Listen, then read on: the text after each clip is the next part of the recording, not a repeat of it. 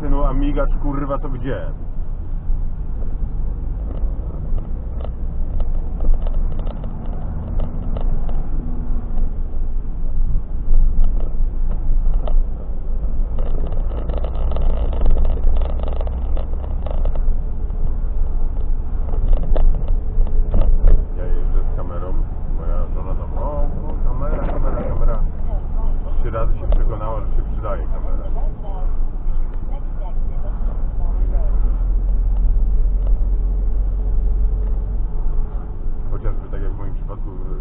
Przydała do analizy mojego błędu.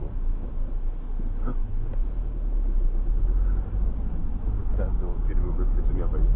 Jechałem kurwa wolno, się nie śpieszyłem i puszczałem gościa.